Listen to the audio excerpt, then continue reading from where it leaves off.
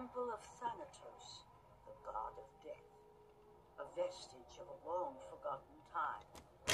Erected before the rule of the Olympians, this temple was not placed here by mortal